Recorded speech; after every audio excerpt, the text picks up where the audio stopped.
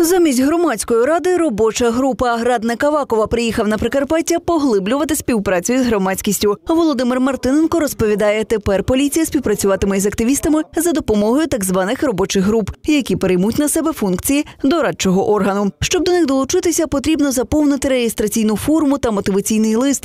Працюватиме новостворена структура із усіма правоохоронними відомствами. Її представників обіцяють залучати навіть до обговорення загальнодержавних питань, як от зміни до закону Савченко чи кримінально-процесуального кодексу. Зараз працюємо, напрацьовуємо внесення змін до кримінально-процесуального кодексу, бо на сьогоднішній день е, всі заяви, які йдуть від громадян е, до е, правоохоронної.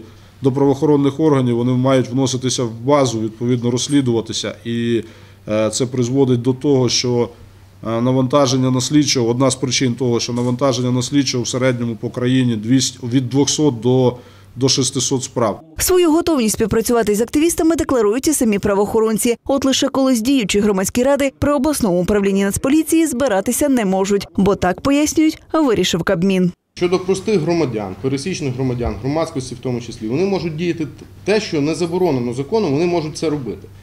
А ми, як чиновники, маємо робити те, що передбачено законом і у визначений законом спосіб.